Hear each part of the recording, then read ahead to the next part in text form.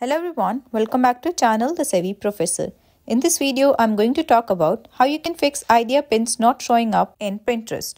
Idea pins were go-to tools for business and a great way to expose your profile to a wider audience.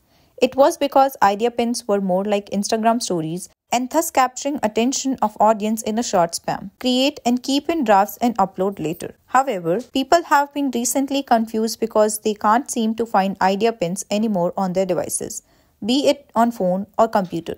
The reason for the same is that idea pins have been merged to pins sometime in mid 2023 and Pinterest simplified creating pins by merging features of idea pins such as dimensions and scheduled posting and you can do it all now in one place by using create pin option.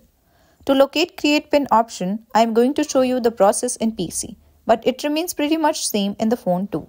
First, go to pinterest.com and log into your account. Once you're logged in, you will be brought to the dashboard. Here, click on the hamburger icon on the left for all the options and then under create category, click on create pin under organic.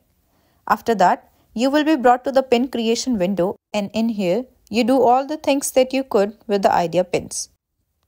Once you select the files, the merged option now allows you to insert links to the idea pins too and even add tags along with publish at a later date option and even adding videos, all that in one place. From here, you can publish your pins from the top right and it will be just as publishing idea pins. So the idea pins feature can now be accessed and done at one place in create pin section in all devices, phone or computer. I hope this video helped you out. If it did, then don't forget to smash that like button and also subscribe to the channel.